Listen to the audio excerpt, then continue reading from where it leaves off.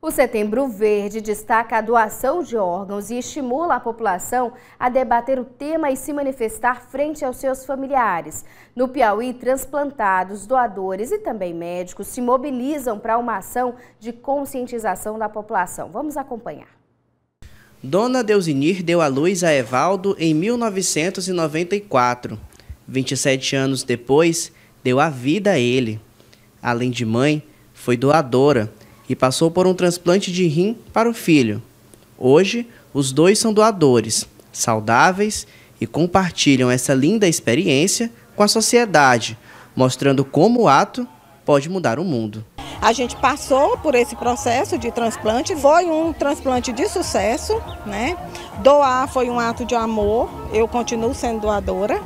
Então, assim, tornar o impossível possível para mim Hoje, para mim, eu carrego isso com muito orgulho. É de maneira muito gratificante você é, ganhar uma sobrevida, né? Quando você recebe um órgão, você é como nascer novamente. É, sem sofrimento e com esperança de uma vida próspera. E você ganha, é, como é que eu posso falar?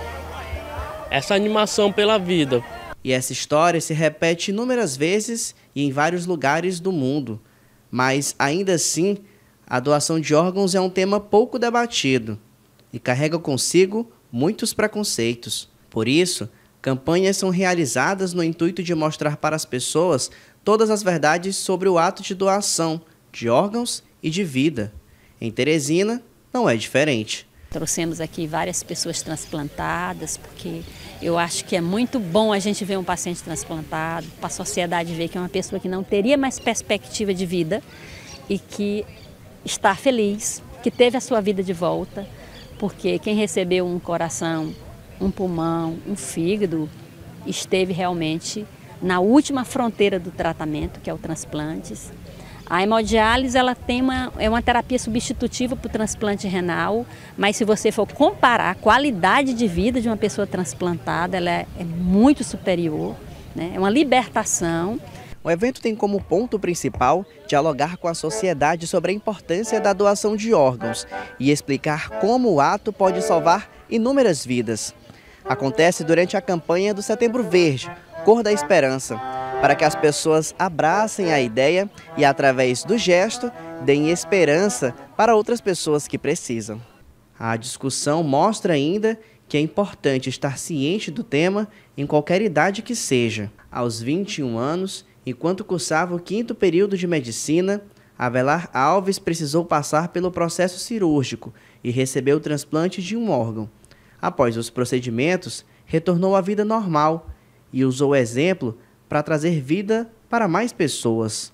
Quando se formou, optou por seguir carreira na área de transplante e hoje é um médico responsável pelos procedimentos de várias pessoas. Então, eu transplantei quando eu tinha 21 anos. Então, terminei meu curso de medicina, constituí família, hoje trabalho e hoje sou transplantador. Então, esse é o, é o exemplo do paciente transplantado. Ele volta às suas atividades né, normais, não tem que ir para uma máquina três vezes por semana, a sua qualidade de vida, a sua sobrevida melhora. É, então, o paciente, quando a gente compara as duas terapias, isso no mundo inteiro, o transplantado ele sempre leva essa vantagem em todos os aspectos, em termos de qualidade e em termos de sobrevida de vida. Dados do Ministério da Saúde mostram que 2023 bateu o recorde de transplantes realizados na última década e entre janeiro e setembro contabilizou mais de 6.700 procedimentos, o que mostra solidariedade, ato de amor e, principalmente, acende dentro de muitos a luz da esperança de uma sobrevida ainda mais feliz.